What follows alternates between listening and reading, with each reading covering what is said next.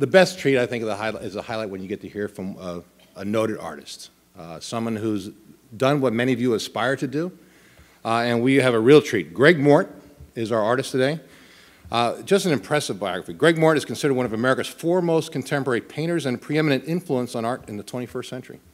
Uh, his unmistakably modern creations are the classic feel of the Dutch masters, but are juxtaposed with startlingly, startlingly modern designs uh, in his work. Uh, prominent collections include in the Smithsonian, the Corcoran Gallery of Art, Delaware Art Museum Academy, uh, the Academy Art Museum, Portland Museum of Art, and the Brandywine River Museum, uh, all feature his artwork.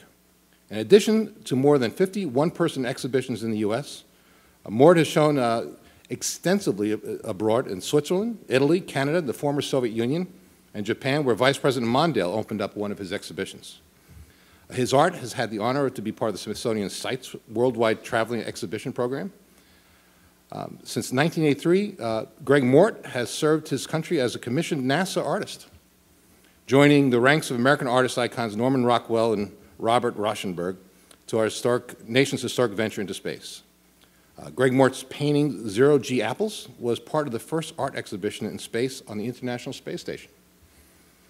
In 2003, uh, Mr. Mort established the Art of Stewardship Project, a foundation that supports and encourages artists to use their art to build awareness about the Earth's environmental concerns.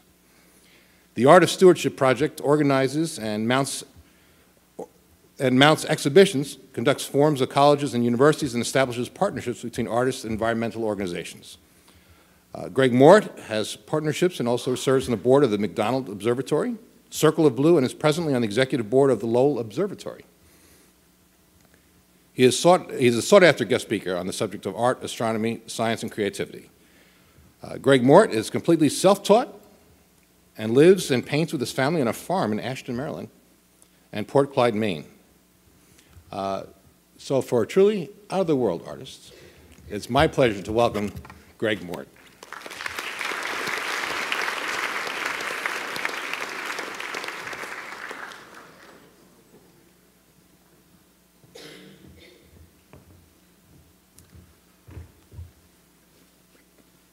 Good morning, everyone. What an honor it is to be here. I, uh, it's just amazing to see all these young, shining faces. It makes me uh, feel really fantastic. I have to think, I have to thank uh, Congresswoman Edwards for her uh, invitation to be here and also to be one of the judges in uh, her district for the uh, the artists. That was an amazing thing to actually be able to pick some of the artwork. and I also have to. Where is Veronica? Where did she go? She's up there. She is. Veronica, thank you for all your work in bringing me to the right place at the right time, which is, you know, it's a little bit of a little bit of a battle. but we're here, and uh, I have to start by saying that uh, I really believe civilization is advancing. Um, when I was in high school 40 years ago, wow, it's amazing to say 40 years ago. Um, I don't think that the students in high school produced the kind of work that I saw walking through through the tunnel today. I, I, I have to just, I am in awe of the, the caliber of the artwork, the sophistication of the artwork.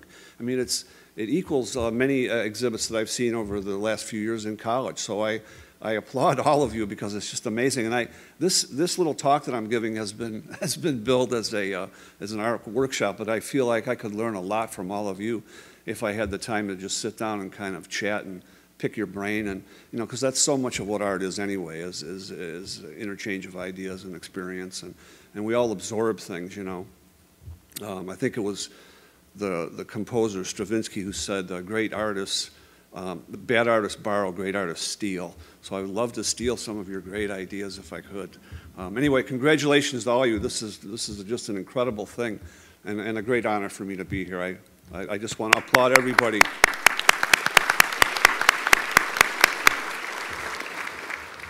Um, and thank you for the introduction, Mark, and you, have uh, uh, touched on some interesting things. I just want to mention about the, um, the painting that flew on the International Space Station. I like to, uh, I like to talk about that and say it was the, the poorest um, um attended art show in history. so, uh, but I do have a photo of my, my little watercolor painting kind of floating in the cabin of, uh, of the space station. um, anyway, I also like to remind people that the Earth is in space, so to go in space is kind of a, it's kind of redundant. But anyway, um, I'm, I hope that I can uh, make my little, my little technical thing work here. I am also, I'm going to talk a little bit about my personal history. I'm going to talk about uh, a little bit about technique, but I'm also going to talk about um, where art can take you. So it's going to be a little bit of a um, combination of a, of a deal. Uh, Mark mentioned the art of stewardship, which my wife Nadine, who is here today, and I started about five years ago. And this grew out of uh, some really interesting experiences because as you will learn as you go forth into life, um, amazing things happen just by sort of putting one foot in front of the next. So uh, let's see if my. Um, being 59 years old, I grew up during the space race, so I was kind of uh, swept away by the whole thing of getting to the moon. And all of you guys here today, you students, you were born after they landed on the moon, which is just astounding to me. Um, this is the first person to orbit the Earth. His name was Yuri Gagarin. And uh, again, I remember being in the, in the supermarket and seeing his picture on the cover of Time magazine and thinking, wow, the Russians really are winning, you know? So it was, there was a, uh, the race to get to the moon was kind of a political thing, but it also inspired uh, generations of young people, I being one of them. So Yuri Gagarin was, was an amazing person. And the reason I show his picture is that uh, when he was in orbit, uh, in addition to, to singing in Russian, of course, Mother Russia knows all, sees all, I mean, he did sing that song. Of course, at that point, you know, Mother Russia really could see all. But he looked down for the, you know, as the first time in human history, he looked down and he said, The earth is blue. Now, that's a pretty simple statement, but think about it. Here's a guy traveling 17,500 miles an hour, about 100 miles above the surface. He looks out, and what does he say? Well, he says, The earth is blue. Well, he was the first person to see that. So, um, that is a pivotal point, believe it or not, in human history. I'd also like to talk about, and most of you already realize this because you're artists, the power of imagery. This is a very famous picture. This is perhaps the most reproduced photograph in human history. And uh, you should all know it's raising the flag on Iwo Jima. Um, they had some trouble identifying the, um, the people in the picture when it first came out and was circulated during World War II, particularly the gentleman in the front, because really all you can see is his rear end. But his mother called in the newspaper and identified. She said, I know that's my son. I changed his diaper. She said, I know that butt anywhere. But the real point of showing this picture is, again, the power of imagery. Think of, of what a driving force this was in terms of morale for the United States. But I also want you to think about the brevity of this picture. Okay, Joe Rosenthal, who was a war photographer, he had a, a he didn't have a digital camera; they hadn't been invented yet, and he had a, a, a view camera, which is when you kind of look through the, the top to take a picture. And he didn't have time to sort of set it up on a tripod or anything, so he he just pointed it at these guys as they were raising this flag on a, on a piece of plumbing pipe that they found. Okay, this picture, the most reprinted picture in human history, is a result of one four hundredth of a second. Okay, it was later recreated and they made a movie and so forth of the raising, but that, this is the original picture, the original uncropped picture, the power of imagery.